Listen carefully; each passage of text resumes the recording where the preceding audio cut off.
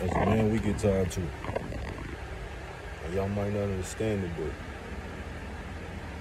while y'all look to for us to fix everybody else's problem, y'all forget then y'all make us the problem. Y'all forget when we're trying to fix our woman's um, problems, then fix our family's problems, and then fix our children's problems. The problem, therefore, then becomes time. So the man itself doesn't have enough time.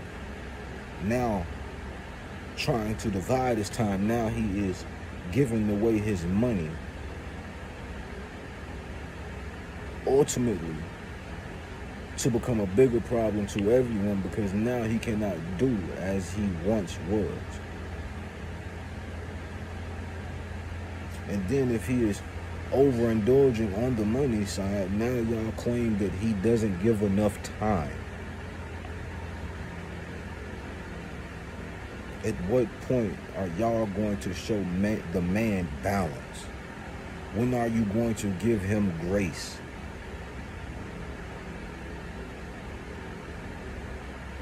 When are things ever going to simply flow and not be blocked or hindered or stopped